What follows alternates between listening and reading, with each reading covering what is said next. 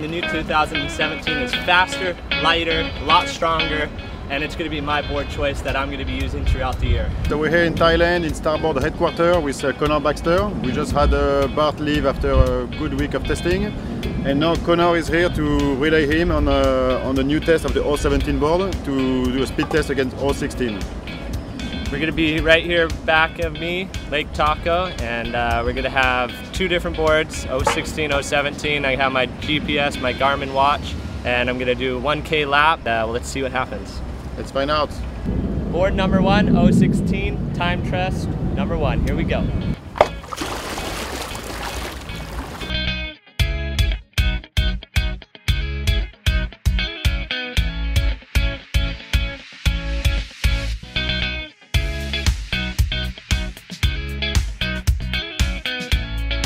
Just got off the water on the 2016 All-Star. That was the time test. I did it in 5 minutes, 42 seconds, and 54 milliseconds. So that's first one down. Next one I'm gonna jump on is the 2017. Round number two.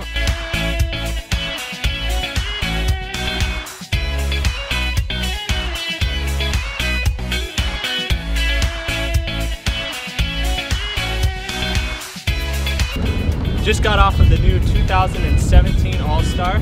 Board is amazing, that's all I can say. Right when you hop on it, you're gonna feel an instant glide. The narrower the board is, you think is more tippy, but this year it's actually more stable. And uh, you know, it's always funny when you hear, yeah, yeah, this board's faster, that board's faster, but just got done with my Garmin watch and actually about five minutes, 24 seconds. So that's almost 20 second difference. And that short of a course, huge difference, even more the farther distance you make. A couple new features we added on the new 2017 that are helping not only the speed, but actually the stabilizing of the board. The board we went about half inch narrower and talk to anybody, it's actually feeling a half inch wider, a lot more stable.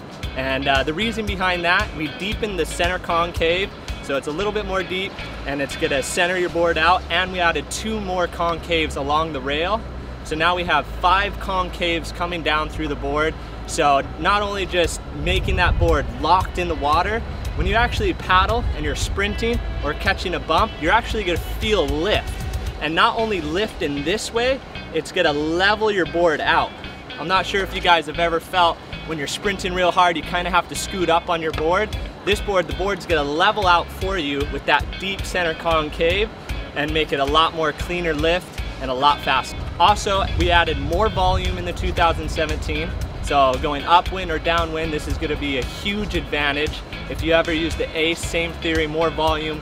Instead of slicing through the water, you're actually going over it and with the ocean.